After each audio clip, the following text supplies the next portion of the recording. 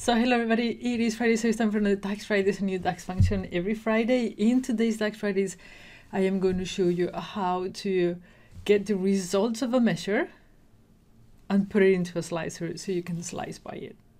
I've been wanting to do this for the longest time, so I figured out and I'm going to show you. Let's get started. Okay guys, I showed this trick on the Power BI user group for Austin, Texas in the US on Wednesday. So I'm going to show you now because I think it's a really cool trick. Uh, this is what we want to do. This is what I wanted to do.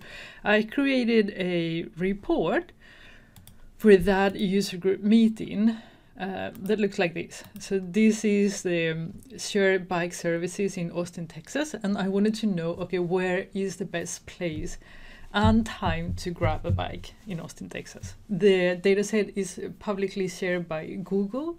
I have a video on that. So you can go and grab it.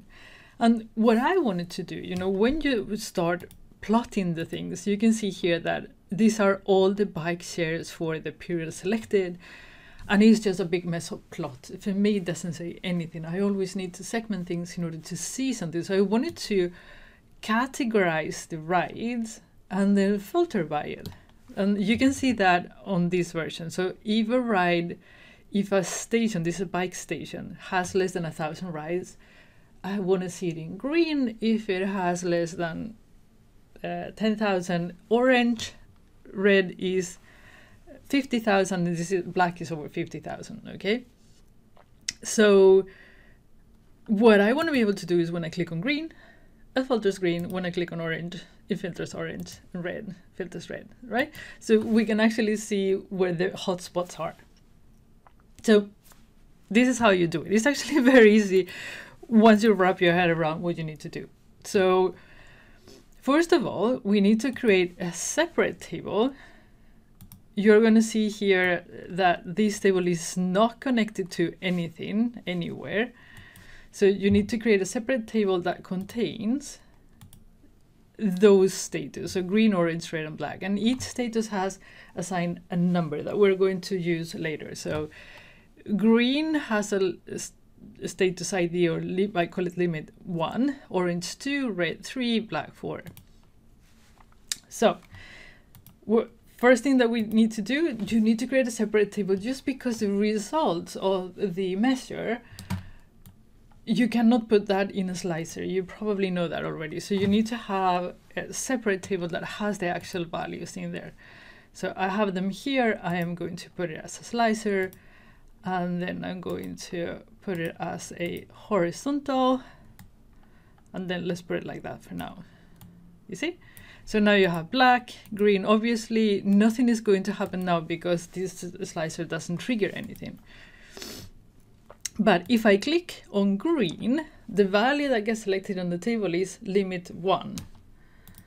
You see it here. So click on green, then the value limit will be 1 if I click on orange 2, and we can use that. So if I go here now and create a new measure, and I'm going to call it number of trips. So first of all, I'm going to create a variable for the trips. So we're going to create a variable trips and trips. Let me show you. I should show you this first. Uh, trips by slicer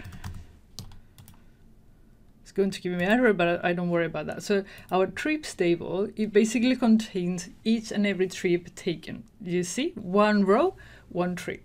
And you have the start time, start station, and time and station. Okay, so I already have a measure that counts the number of rows on the trips table, which eventually means that it counts the number of trips on the trips table. So we know how many trips. So if we go again to our measure, it disappeared. Okay, let's write it again. Trips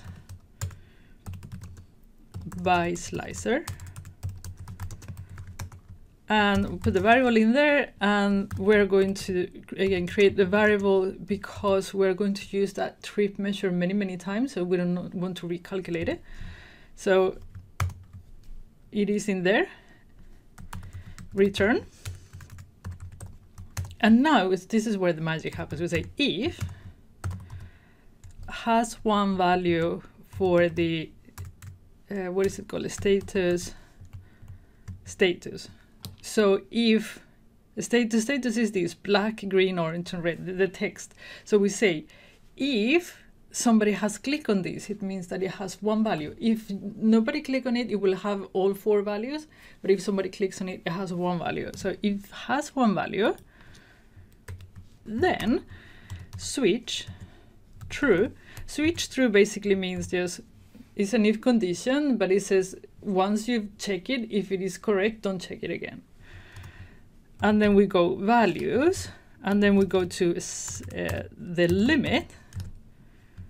So we say if somebody press on the slicer and the limit value is one, that means if somebody press on the button here and it press on green because the limit was one, if you remember, and trips is less than a thousand, because we said green is all the trips that are less than a thousand, then trips. I'll, let me show you what it, it will make sense, I swear. So trips, I'm going to now go to the map. I'm going to change that to, to see that it already does it. And then I'm going to show you, you need to see this. I think it's so much easier to see. So I'm going to put it in here. So you see, if we press on green, only the stations that had trips less than a thousand rides will show. And then you can see them. If I unclick it, not going to show anything because we haven't said what to do. If you know, we, eh, because we haven't specified what to do if nothing is clicked, it just shows blanks by default. So again, if we're pre-screen, look at that, beautiful. Now let's do another one.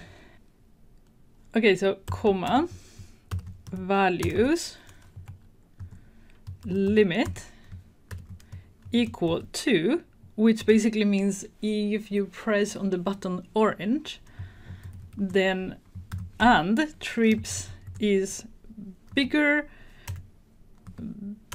bigger than a thousand and trips is smaller than 10,000 then trips.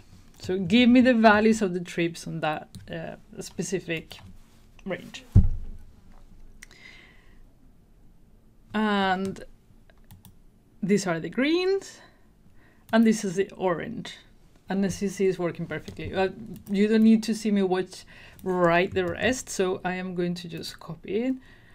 So for the, this is for the red, which is value 3 and then between 10,000 and 50,000, and this is for the black. And this is bigger than 50,000. Now, if nothing is selected on the slicer, I want you to give me all the trips. Okay, so if you don't put this, it will return blank. We don't want that. So go in there. Um,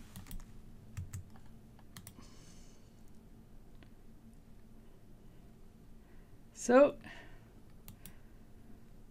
now black, green, orange now. It is working beautiful, but you want to see it. I need to see it. so we need to conditional formatting. Fortunately, there is conditional formatting on the map, so we can actually do that. If we go to data colors and we do the formatting here, so we go by rules, and here we're going to get trips by slicer, and then here we do new rule. We're going to have four rules.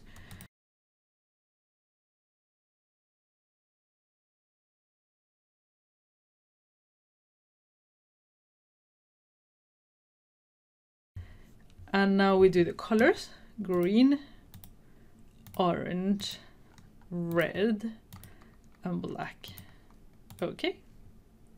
So orange, green, black, and red. And then if I don't click anything, voila, how beautiful is this? I think it's actually very cool. Now suddenly you can start to see some patterns. You can see, for example, up there the black, is the university. So if you're trying to catch a, a right at the university, mm, unless they have a lot of bike stations, which they could, we haven't looked at that variable yet, you might have a hard time. Green places is the place where you have biggest chances. Again, it depends on how many bikes they have available in those places. You never know. But yeah, I think it is a pretty cool thing to segment things using of the results of a measure. So hopefully this is useful and you can create beautiful visualizations with it. I will see you again on Monday and maybe I will do this entire report, a video for how I created these um, in a future video. So just let me know if you would like to see that and, and we, as soon as I have the time I'll, I'll fix it. I still owe you the football one.